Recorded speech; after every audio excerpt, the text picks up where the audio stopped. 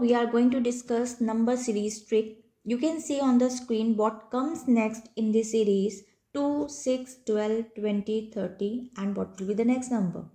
So now that there is a difference between the consecutive term, follow a pattern. See what the pattern is. Basically 6 minus 2, you can see on the screen there is a 4 and the next is 12 minus 6, it will be a 6.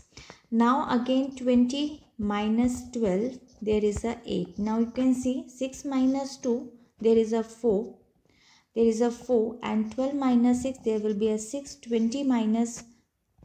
12 there will be a 8 and 30 minus 20 there will be a 10 so i will just write it down 20, 30 minus 20 there will be a 10 now you can see the differences increased by 2 each time like 4 plus 6 there is a 2 6 plus 6 and 8 there is a increased by 2 8 and 10 there is also increased by 2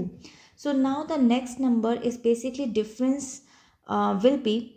10 plus 2 will be a 12 so thus we can say simply 30 plus 12 it will be a 42